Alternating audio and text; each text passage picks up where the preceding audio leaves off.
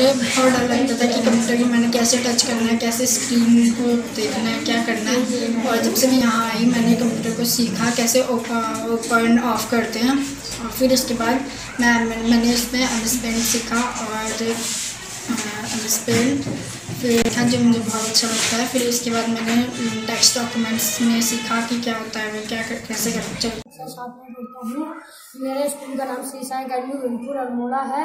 Computer शिक्षा द्वारा हमने कंप्यूटर को ऑन करना सीखा और कंप्यूटर को शट डाउन करना सीखा कीबोर्ड से टाइपिंग करनी सीखी और फ़ाइल सेव करना सीखा। हमने लाइन के द्वारा जो चित्र बनाए उनमें भी उनमें भी कला करना सीखा। कंप्यूटर शिक्षा का एक विद्यार्थी हूँ मैं।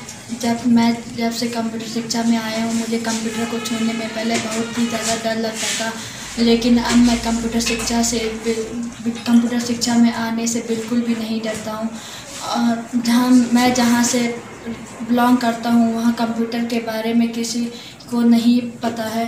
और जहाँ मैं घर, मैं जब घर जाता हूँ तो मैं अपने अड़ोस पड़ोस व अपने भैया और भैया को बताता हूँ कि हमारे स्कूल में कंप्यूटर शिक्षा भी एक क्लास की क्लास चलती है, जहाँ हम सीखते हैं कि कंप्यूटर क्या होता है, कि कंप्यूटर में और क्या, कंप्यूटर कैसे खोलते हैं, कंप्यूटर में कैसे कार्य करते हैं, कंप्यूटर होता होता, कंप्यूटर में कंप्यूटर कितने भाग होते हैं।